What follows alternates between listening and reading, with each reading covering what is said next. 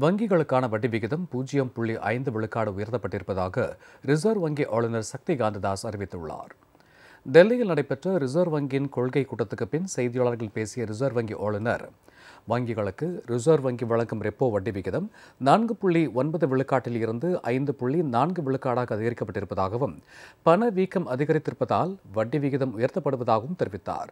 பணவீக்கத்தை கட்டுப்படுத்த தேவையான அனைத்து நடவடிக்கைகளையும் ரிசர்வ் வங்கி மேற்கொள்ளும் என உறுதியளித்த திரு. சக்திகாந்த தாஸ் இந்திய ரூபாயின் மதிப்பை நிலையாக வைத்திருக்கவும் அந்நிய செலாவணி கையிருப்பை பயன்படுத்தி இந்திய ரூபாய் மதிப்பீட்டின் ஏற்ற இறக்கங்களை கட்டுப்படுத்தவும் ரிசர்வ் வங்கி கவனம் செலுத்தி வருவதாக குறிப்பிட்டார்.